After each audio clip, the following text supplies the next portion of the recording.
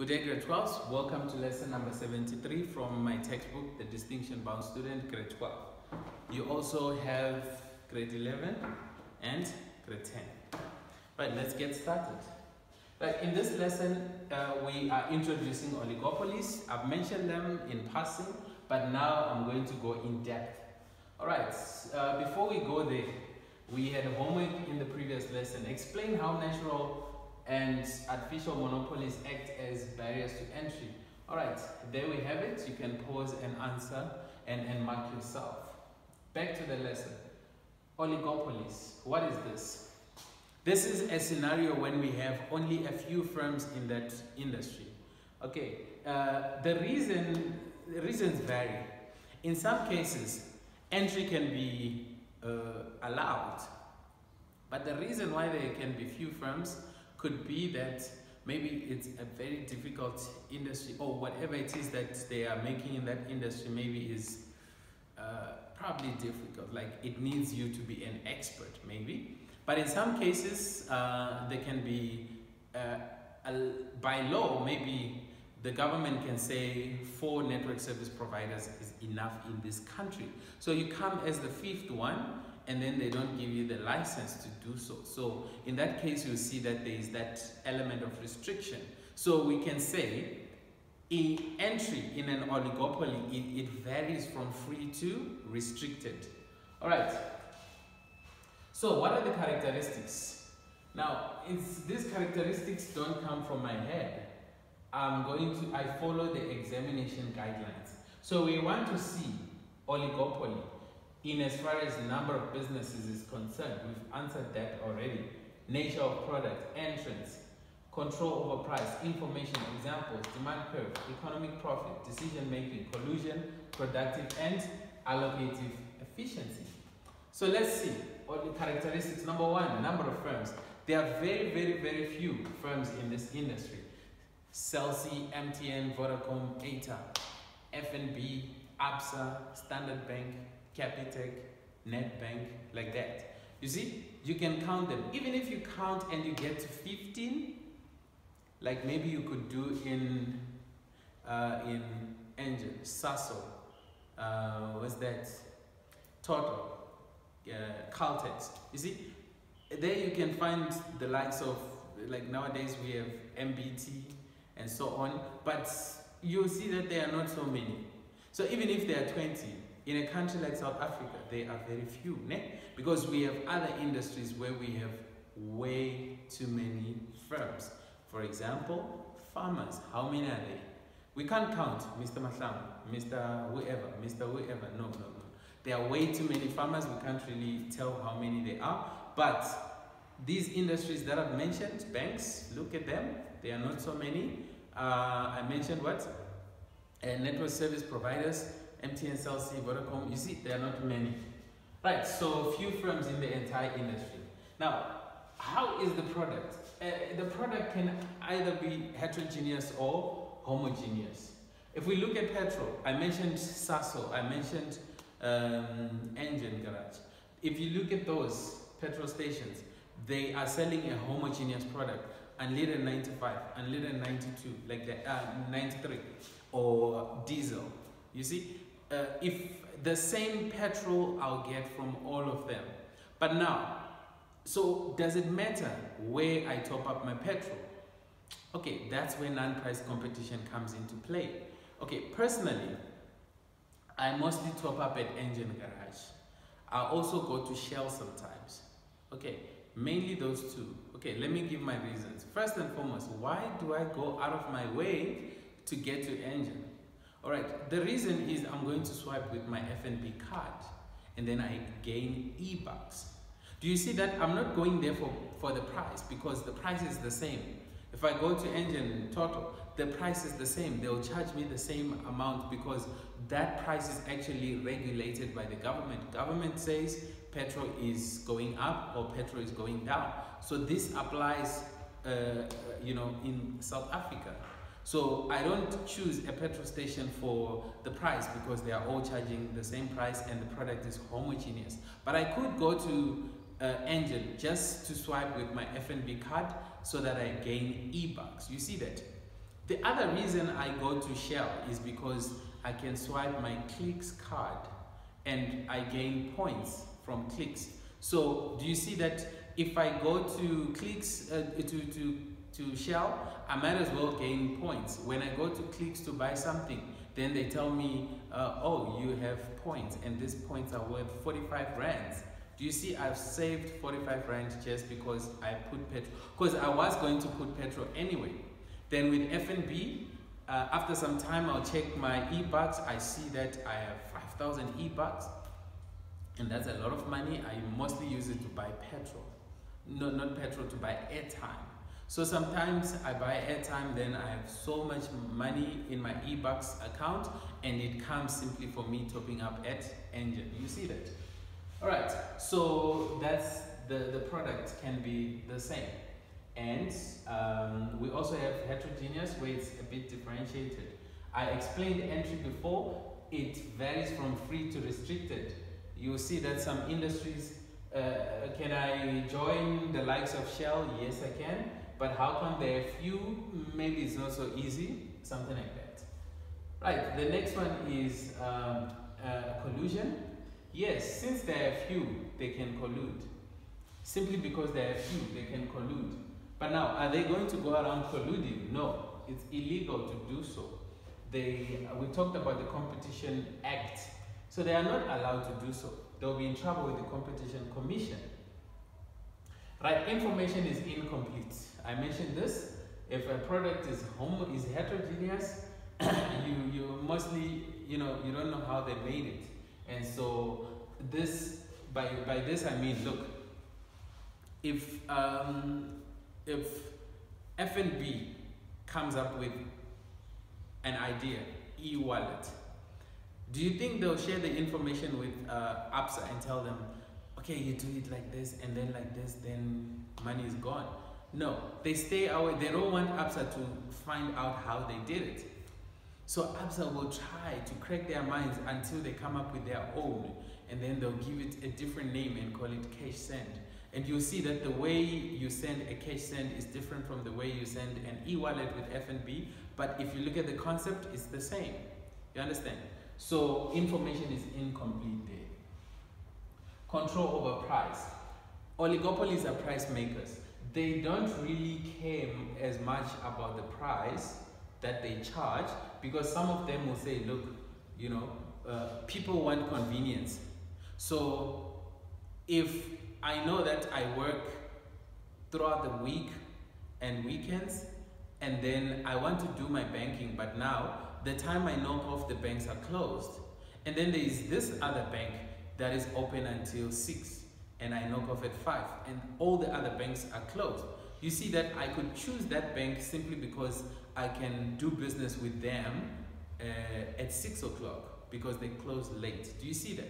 So I'm not going to choose the bank for the bank charges, but I'm going to choose it for other things that they are uh, offering me. So, so the bank is not going to be a price taker. They will charge a price that they want and they know they are going to get customers for their unique ways of doing things. The next one is the demand curve. We say that it's kinked and I'll be showing you just now. I'll be showing you just now uh, what that looks like. Okay, the demand curve is kinked like that. You see? And this is our D is equal to A R. So this part here is the best price that an oligopoly can ever charge. This is the correct price. Okay, let's say two. That's the correct price. That's the price. That's the best price ever. All right, so the demand curve is kinked. We'll explain why I say it's the best price. You'll see that um, trying to increase the price. Okay, let me just show you here. Uh, by in the quest of gaining uh, or, or making more money, if an oligopoly increases their price to let's say two rand, 30 cents, just like that, two rand 30 cents. What happens? You see the small increase. The small increase, this one, it doesn't match the, the loss in quantity. You see? So if they increase the price by a small margin, they lose a lot of customers. What if they try to use price to gain customers? Let's say they try to charge one rand, 80 cents. You see, they've reduced the price. Ne? And if I do that, look at that. They've reduced the price by this margin, but look how many customers they gain. Very few. Very few. So, what's the best price for the oligopoly? Where the demand curve kinks. Increasing the price to try and gain custom uh, to try and make more money, you lose a lot of customers. Reducing the price to try and attract, you attract but just a few. You see? So the best price for an oligopoly will be right there, two rands. Right, in the long run, can an oligopoly make economic profit? The answer is yes, it's very possible. The next one, output, don't worry much about it, but yes, output is low. Non-price competition, I've said it a thousand times, yes, they do that. I talked about uh, opening hours, I talked about me going to Engen or, or, or Shell for my own reasons. That's non-price competition. It's not the price that takes me there, but it's other things. All right. So now I'm going to spend time on this one because many people struggle with this. All right. This right here is, okay, let me do it like this. Because for people to understand, you have to draw and show them physically. All right. So this is our quantity, and this is our quantity. This is our price. Okay. This is our quantity. This is our price. This is our demand curve. Now, what do you notice about this, this part, first and foremost? This part is highly elastic. So I can say this part here is highly elastic. Then we have this part. This one is inelastic. Are we clear? Now, let me take you back to grade 11.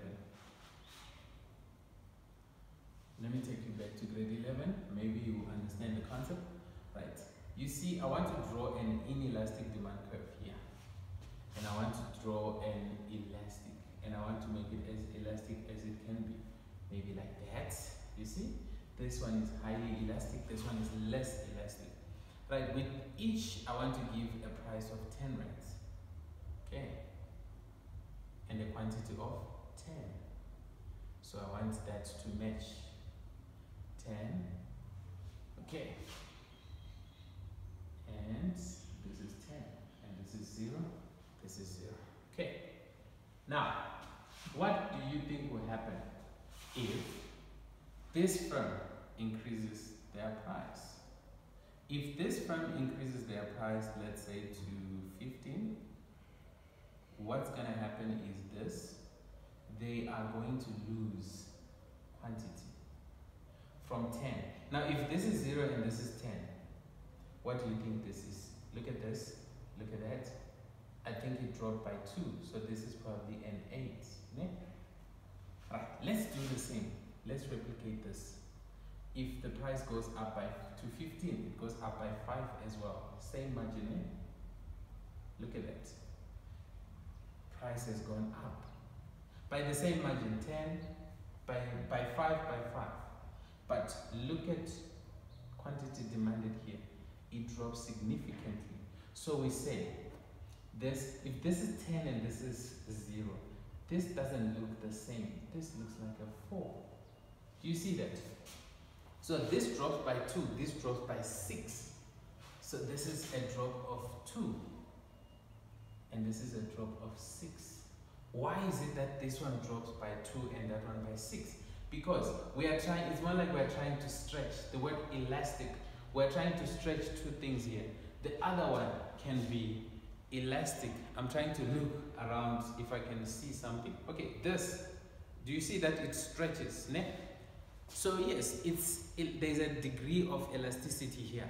But what if I take a rubber band and try to stretch it? Which one is more elastic? You see the rubber band is more elastic than this. So uh, when you pull, when something happens, how much response do we get? Here we do get response, but not as much as this. So yes, here we do get response. So this one is, yes, elastic, but not as much, inelastic. This one is highly elastic. It responds more. A change in price, I think you went to school, you understand what I'm saying. All right, then let's come to this one now. So what are we saying in as far as elasticity and all those things that I'm explaining is concerned? Let me try to explain this one right here. Right. Uh, this is our marginal revenue. You see that? The same. This part here is uh, kinked, is responding to this here, the kinked demand curve. now, what is the best price? If you take out your calculator and do some calculations here, uh, try it with 8 rand, try it with 10, and try it with, 20, with 12. Do you see that? If the business charges 10 and 100, uh, simple math will tell us it's 1000, right? 1000 because 10 times 100 that's 1000 and then drop the price to 8 in aiming to gain there. It's 8 times 12 what does it give you? Do the math. You see it's less than this one here. Then on the other hand try to increase the price. You see how many customers you are going to lose. Way too many customers will be lost. Look at this. So this top part the, the, the so what we're saying with the demand curve here is that we're saying the, the, the, the top part of the market price on a demand in an oligopoly, the, the top part of the demand curve, the part of the demand curve above the market price or above the, the, the, the, the, the, the best price, that part of the demand curve is what? Let's have a look. It's elastic. It causes a big loss of customers from 100 to 40. You see? And if we check here, the wait, the, the bottom part, I didn't even make it as elastic as I should have. Because if I was to make it more elastic, it would be it would make more sense. Right? Maybe this would be 110. Now if we calculate 110 by 8, it will be way less than 1000. You see? So this is not as elastic, as inelastic as I wanted it or as I want it to be for you to understand the concept. You see that? So if you check this one, in our scenario here, it's more like this.